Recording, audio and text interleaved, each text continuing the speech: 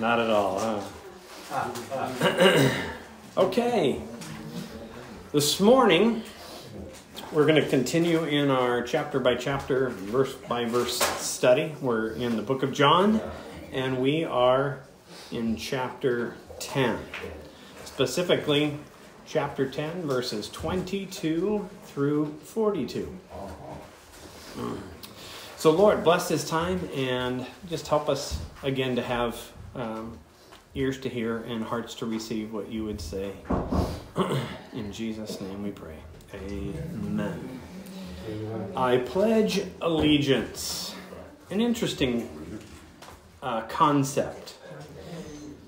the writer, a socialist minister whose name was Francis Bellamy, in 1892 hoped that this particular uh, pledge would be shared throughout all of the world and used in all countries. we know it as uh, I pledge allegiance to the flag of the United States of America and to the republic for which it stands, one nation, under God indivisible, with liberty and justice for all. Now that's how we know it. But that is not how it was written. Okay? So when we look back to how it was written in its original form, it read, I pledge allegiance to my flag and the republic for which it stands, one nation, indivisible, with liberty and justice for all. That way it could kind of be adapted to any country, any kind of situation, and it made sense. But in 1923, the words to the flag of the United States of America were added, a little more personalized. Okay? And then when you were making that pledge, you were to salute and when you would say, I pledge allegiance to the flag, then you would take your hand and you would point out uh, to the flag that you were looking at. Except that there was this period of history where this idea was very unpopular. And that we know is because of Hitler and the things that he was, was uh, propagating and the hatred of the Jews. Okay, so that is is kind of was the struggle, I would say, um, and then that was changed a bit. So instead of saluting the flag and pointing to the flag, you would take your hand and place it over your heart. And then in 1954, President Eisenhower encouraged Congress to add the words under God. Now, how many of you knew all that history? Good for you. Good for you. I did not. So this has been kind of um, a, a fun thing because you know, you, you grow up saying the Pledge of Allegiance, you know, you stand, you, you do that kind of thing, and you don't necessarily realize all the changes, all the little things that have happened over the years. And in order to, to uh, get the pledge that we have now. So, what does this have to do with John chapter 10, verses 22 through 42? I pledge allegiance. Well, in John chapter 2, or 10, verses 22, John writes that it was now winter, and Jesus was in Jerusalem at the time of Hanukkah, the festival of dedication. So, when was this? Now, we kind of have to think back a little bit when we kind of got into John and into Christmas, and we started talking about Kislev uh, 25th or December 25th, which is also um, the time of Hanukkah.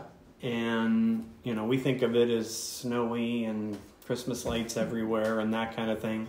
Not the case here, even though this celebration of Hanukkah or the festival of dedication or allegiance in a sense. Okay, you're dedicating yourself, you're dedicating the, the temple, uh, was the case here. And what is um, Hanukkah in essence? Well, when we think back to that day and age, um, when they were having this celebration, it was a period of history that was not so good. Antiochus Epiphanes was just a horrific, horrific man. He did so many evil deeds against the Jewish people. He hated them dearly. He destroyed their communities. He uh, killed them in very violent, evil ways.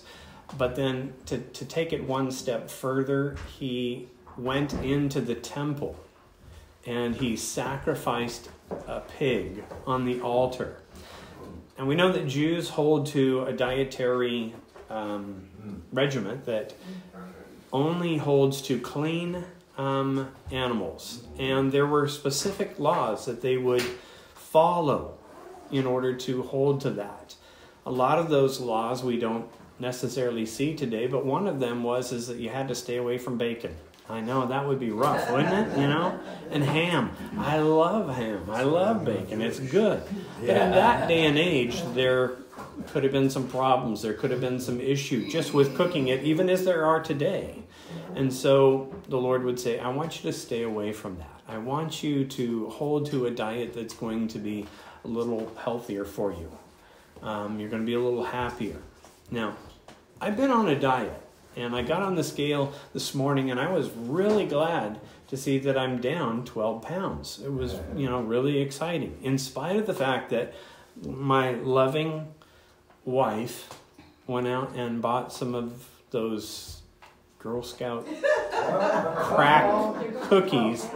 And now I hadn't eaten much on Valentine's um, Day. And when I got home, um, from an ambulance call, um, I took Charlie out to, to dinner for Valentine's.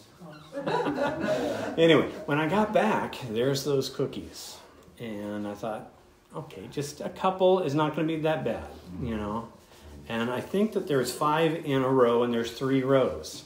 So there's 15 cookies in a box of those, what do they call them? Samoas. They got the caramel and the chocolate and the coconut and and okay, so you know, they're kind of like Lay's potato chips. You know, you can't just eat one, so I ate two, and then I ate three, and four, and five, and I thought, okay, that's enough. I got to put them away, and I put them away, and about an hour later, I could hear the Girl Scout cookies calling me again, uh-huh.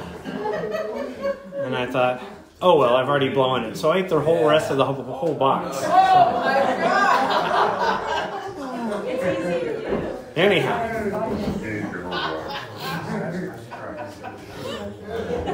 That has nothing to do with the teaching whatsoever today. So, but Antiochus Epiphanes was so mean and so evil um, and was so obnoxious when it came to some of the things uh, that were done in the temple that he left it so defiled that a, a group um, called the Maccabees um, really were frustrated and they gathered up what little they could for weapons and they said you know what? We're going to go to battle. We're going to we're going to in a sense die for our lord and try and save jerusalem. And they went to war and they won.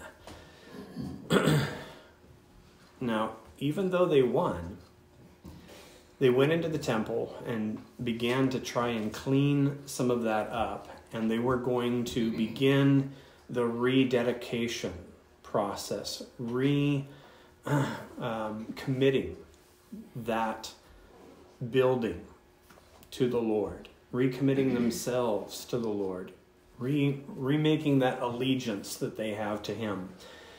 Which is kind of how this festival came about. When they went to go light the the lamps uh, again. Back then, They didn't have like what we do here sometimes in the morning where you just push the remote control and the candles just light up, you know? They didn't have that. They had oil lamps, little oil lamps, and that lamp would usually hold about a day's worth of oil, and you could light that and it would burn all day long. Well, they only found one jar of oil. They filled one of the lamps, they lit it, and it took them several more days before they could come up with a batch of, of uh, properly um, dedicated and properly produced oil so that it was holy, it was pure, it was done the way it would need to be for church or for, for the temple and the tabernacle. And so, in lighting that, they thought, well, we only have one day left. Lord, I don't,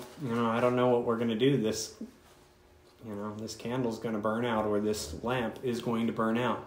And what should have lasted one day lasted eight days until a full new batch could be done. And you say, well, I don't, I don't recall seeing that in the Old Testament. Well, it doesn't really matter. There's not necessarily big giant separations of time because the Bible is God's word. It's all one. And where is it mentioned? It's mentioned right here. So we know that it was happening. It was being celebrated because John says hey, guess what we're, we're doing right now? It's wintertime, it's Hanukkah, or what we would consider to be what? Christmas time, right?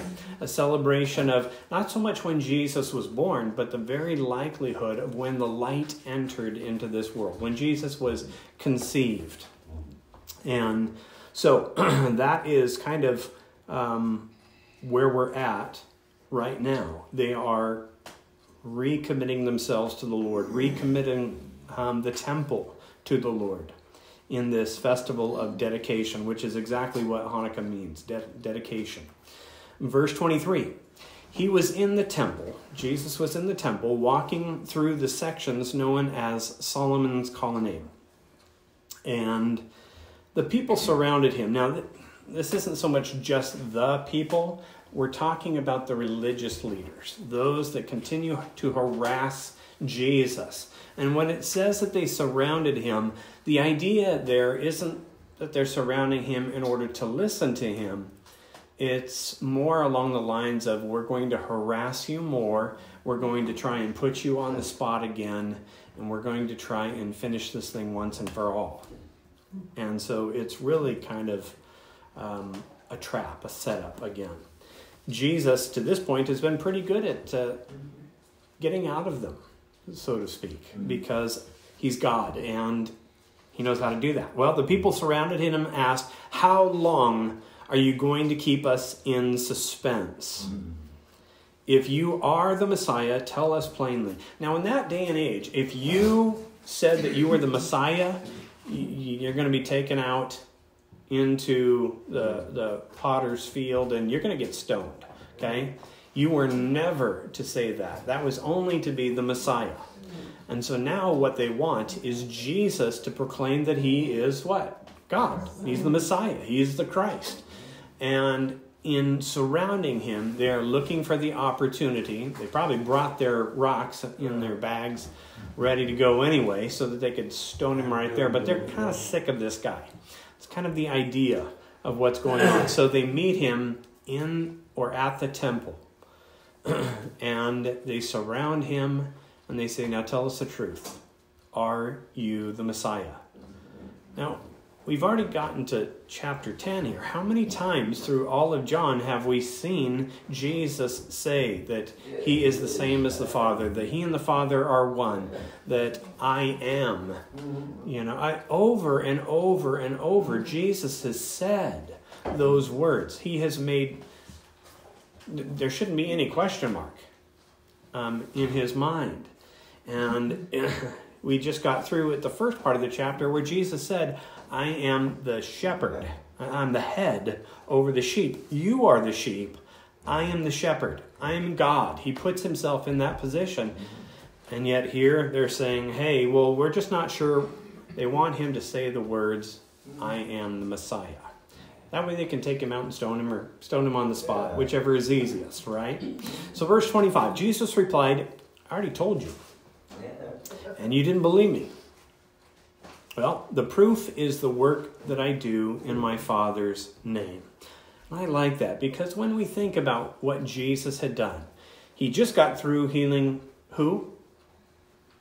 The blind man. Remember, he spat on the ground, he mixed it up into mud, put, put it in the guy's eyes um, who had been blind from birth, and Jesus recreated him some working uh, eyeballs. And um, he said, Yeah, I believe this guy must be a prophet or somebody special.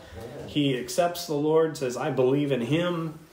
And then the religious leaders kick him out of church, you know? And so here, Jesus is speaking them to them, and he says, I already have shown you proof. Yeah. The proof is the work and the deeds that I've done. I've healed the blind. I have um, opened the mouths of the mute. I have um, those that could not walk. I have healed their legs, the crippled, the lame, the woman who had been bleeding for years. I have raised people from the dead. Uh-huh. And I have fed thousands upon thousands of people with a handful of loaves and a few fishes. And yet, you have asked for signs. You want me to prove myself. I mean, can you do any of this? I also ask if you know that I've sinned, then come right out and say exactly what it is that I've done. And nobody could present any sin. They had no proof of any wrongdoing. And yet Jesus says, the proof that I am God is in the work that I do. So, how do we know if something really is from God? look at the work. You know, we check it out and we see if it measures up to the word. If the work doesn't measure up to the word, then it's not from the Lord. Okay? So here, then in verse 26, Jesus goes on to say, But you don't believe in me because you are not my sheep. now, I like the language here because the language um, is, is quite simplistic in its its idea, and they tend to. If we were to interpret their language, it would it would almost be because you're my sheep, then you will believe. But because you don't believe, then you're not my sheep. It's kind of real basic in, in its concept. And Jesus is speaking to them as though he were maybe speaking to a third grader, you know, and saying, Look, the reason that you don't believe is because you're not my sheep. Okay? Because my sheep believe in me. And if you believed in me, then you would be my sheep. But because you're not my sheep, you don't believe. This is pretty pretty basic. well, my sheep listen to my voice. How do you know if somebody is really a sheep, a Christian? Because they listen to what the Lord tells them to do in the Word. I know them and they follow me. Another uh, thing that they do is they follow what the scriptures say. They do what the Lord has said for them to do, and they follow God's instructions. Verse 28 I give them eternal life, and they will never perish. Now, this is interesting um, phrase as well because Greek doesn't exactly translate into English the same way. This is like a double negative. How how many of you grew up with a mom that was very much into English and would tell you you cannot put a double negative together because then it's a positive? Do you want some of this? No, I don't. I don't not not want any or you know what I mean? That whole double negative thing. Yeah, I don't want none of that. Okay? There you go. which means you actually do want it. Well, this is a double negative, but in the Greek language, the double negative just gives it that much more um, intensity. So he says here, I give them eternal life, and they will never, or never, never perish. we would translate in our language, they will never, ever perish. Okay? But in the Greek, it would be never, never perish. So, which means that they would actually perish. But again, that's Greek. Okay? It's all Greek to me, right? But that is interesting because we know that If the proof, proof is in the work, then it's also going to be manifest in the word. If you are a sheep, then you will listen to um, his voice and you will follow and obey. But also, in doing that, you will never, never, ever perish. You will have eternal life. This is Jesus saying these things. And I like that because the only person that has the authority, the only person that has the power to say, if you listen to what I say and do and obey what I've told you to do, then you will live forever in heaven. The only person that has that kind of power is who? God. Okay, so Jesus is God. Well, no one can snatch my sheep from me. Nobody can take um, the sheep away from the Father. That's one thing that I really appreciate about Jesus. He doesn't lose sheep. Okay? He is a good shepherd. He does not lose any sheep, including those that somebody tries to snatch from me. Doesn't happen. For my Father has given them to me, and He is more powerful than anyone else. That's where we say, Greater is He that is in us than he that's in this world. We're not going to, if we are in the hands of the Father, we are not going to get plucked out by Satan. He might be able to harass you, he might be able to oppress you, but he can never overtake or overcome you. he um, has to stay away because you are in the Father's hands. Verse 30 The Father and I are one. So there's no question again even though he's not saying the words Messiah, he's saying, hey, we are one in person, one in purpose, one in um, intent, but we are also one. And we don't really understand the whole idea behind the Trinity because we don't really have anything much like that here. We can say, oh, well, it's like an apple. It's got a skin, it's got a meat, and it's got seed in the middle. Well, yeah, but it's got a lot of other things to it as well. But the Father, the Son, and the Holy Spirit are one. Okay? We don't understand it. If we understood that, what would you be? You would be God. Okay? We are going to become like God when we get to heaven. We're going to be like Him, knowing all things, because Jesus says when we see Him face to face, we're going to get that understanding, we're going to get that knowledge. But until then, we have to take Him, His Word, um, exactly as he says it. And there's no reason to doubt it because the proof is in the work. All right? So the Father and I are one. Jesus is saying, okay, here it is I am God. Verse 31 Once again, the people picked up stones to kill him. And Jesus said, At my Father's direction, I have done many good works. For which one are you going to stone me? Yeah.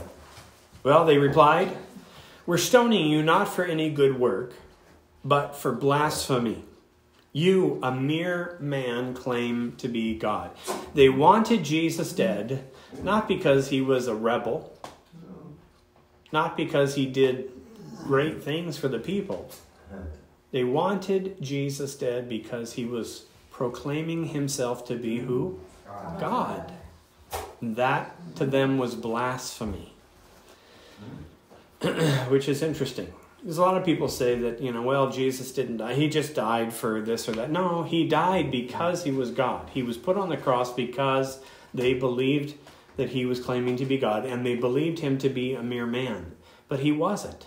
He was all man, but he was also all God. Another concept that we can't understand because we're all man, we're all human. Okay? Well, Jesus replied, It is it written in your own scriptures. Okay? It is written in your own laws. You've came up with your own little things, and they did, because Jesus gave them how many commandments? Ten. Ten. Okay? You don't even have to use your toes. Mm-hmm. I'm going to give you ten, and they couldn't even follow that.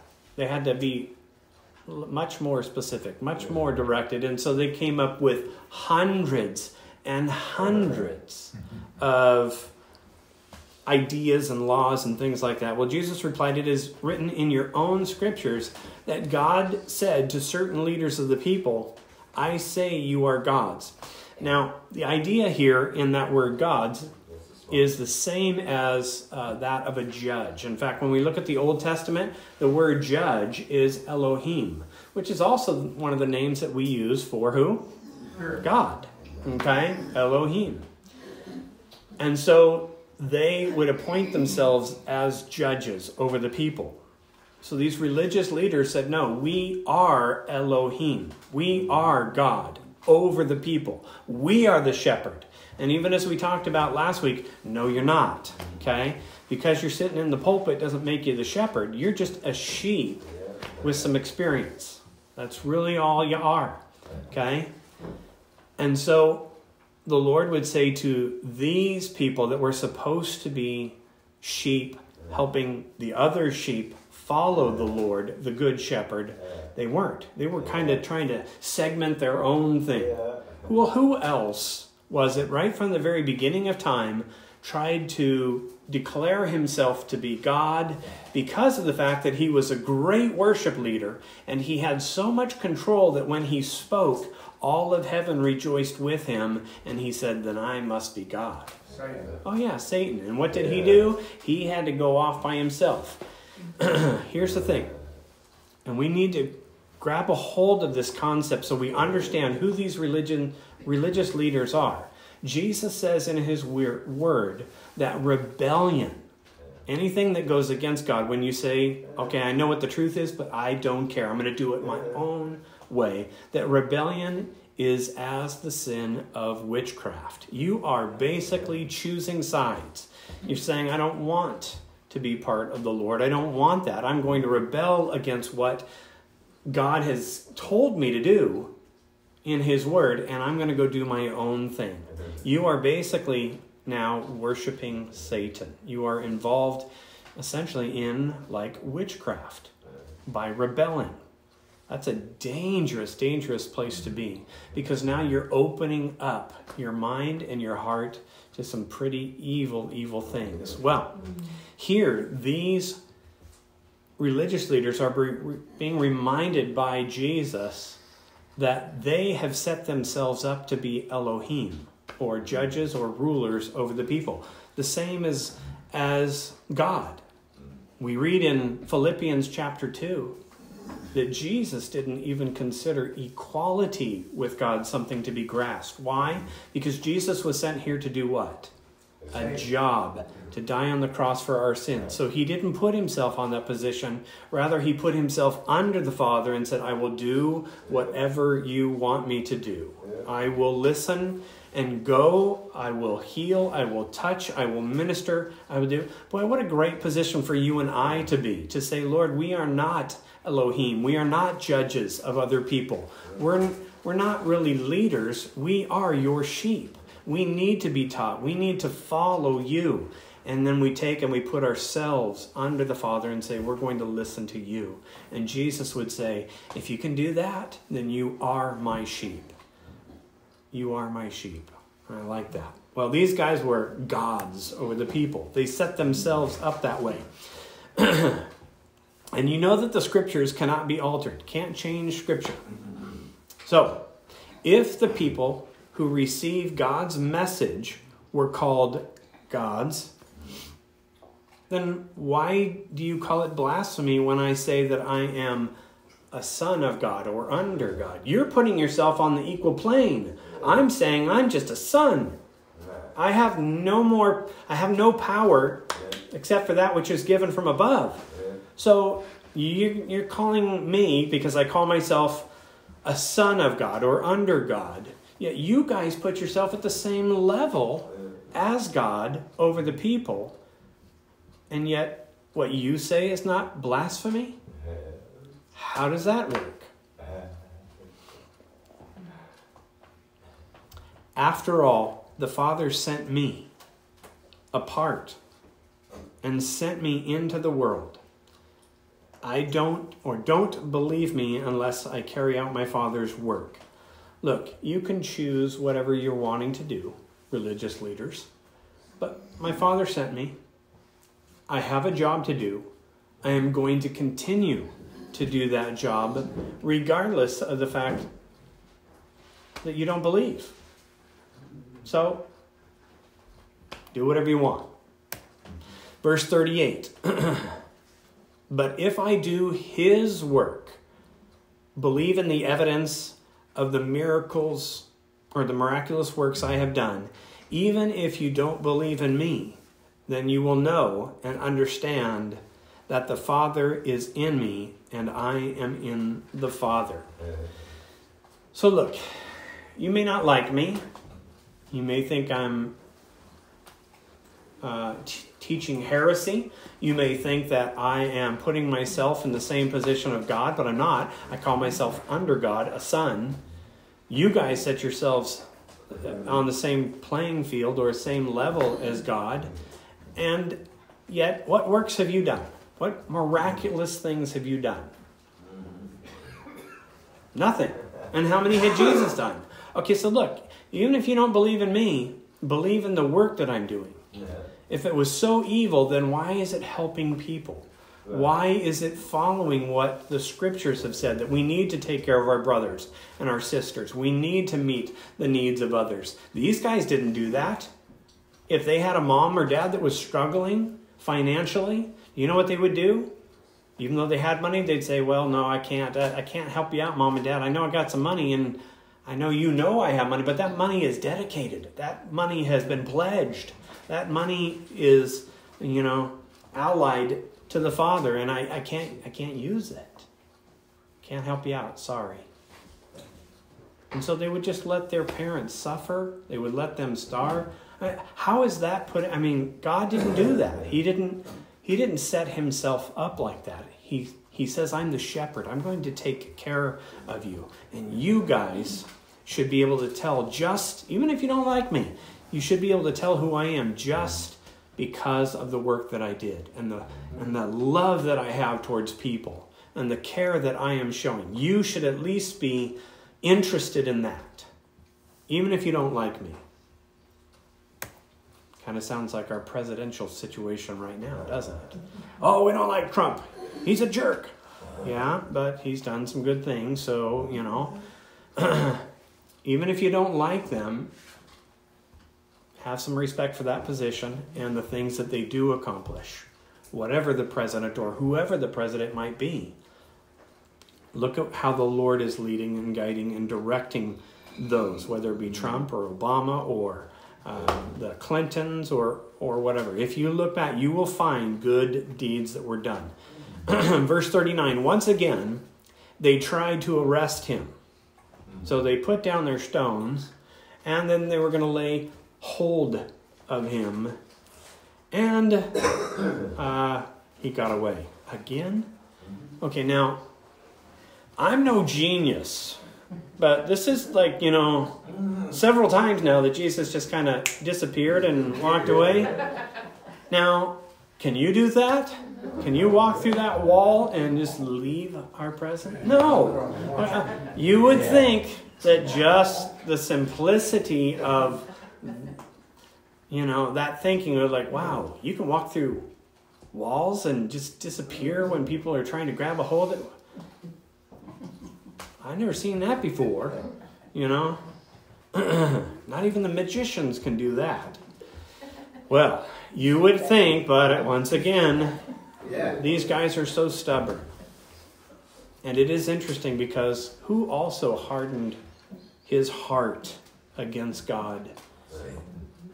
Not only Satan, you're right, very much so, and got kicked out of heaven, but Pharaoh did oh, and it came to his destruction, didn't didn't it? Even though the miracles were being done right in front of them, he just said, "Oh yeah, I can see it. I know it.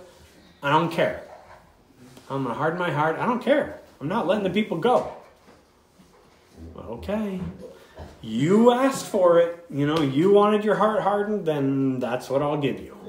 You know, and you can tell the same thing is happening here to the hearts of these leaders. Verse 40 he went beyond the Jordan River, near the place where John was first baptized, and stayed there a while.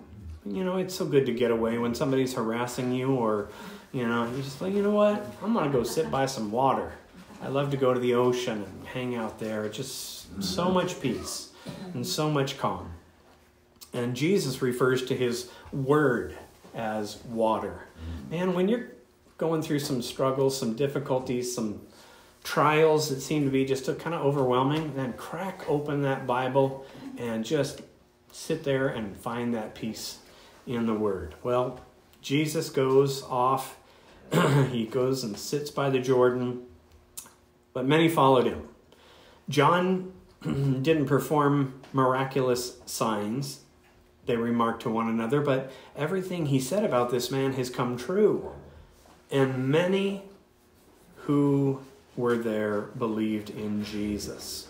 And why did they believe in Jesus? Because they were his sheep. sheep. Okay? We need to look at the word and just take it for what it says. You don't have to read into it. You there's enough there.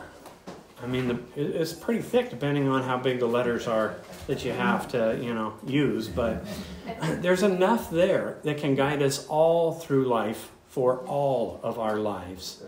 And I don't think you, you can go deep enough into that word. But I'll tell you what, every time that I've been struggling or going through a difficult time, to be able to open up the word and just hear the Father speak to my heart, speak to my mind boy, it gives me a peace that passes all understanding. The same thing happens here to these folks. Though Jesus left the temple and he went out to the Jordan, the people followed. Why? Because they what? They believed. They committed themselves to Jesus. They pledged themselves to him. They gave their allegiance to them. They dedicated themselves. You know, Jesus refers to us as temples of the Holy Spirit, right? And we sometimes need to do a little housework or some yeah. temple cleanup, you know? I would say that we're here today so that we are reminded again that we need to be dedicated, that we need to pledge our allegiance to the Lord and say, Father, come in and help clean up my temple. Bring in more of the Holy Spirit, which is oil in the scripture. Bring that in so that I might continue to shine brightly. That the fire that is in me, even if it's maybe died down a little bit, will be rekindled. And that we can go out and be a light for you. Amen? Amen. So, Father, help us to dedicate ourselves, to pledge our allegiance to you. Knowing, Lord, that as we do, Father, you are going to fill us with your Spirit. You are going to move us to be doing your works, to be moving us into all truth. And Father, I am so grateful that today we can spend a little bit of time being refreshed in the water of your word, knowing that you are God, that you rose again from the dead, and that, Father, by believing in you, we are your sheep we put ourselves under your care.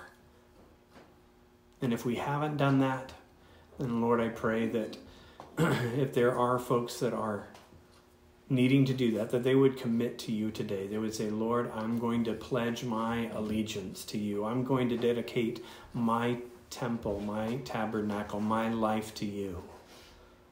Help me to follow. Help me to listen. Help me to obey the things that you have said in your word. Thank you, Lord, again for sharing with us here in John. May we continue to do what, Father, you have asked us to do. In Jesus' name, amen. amen.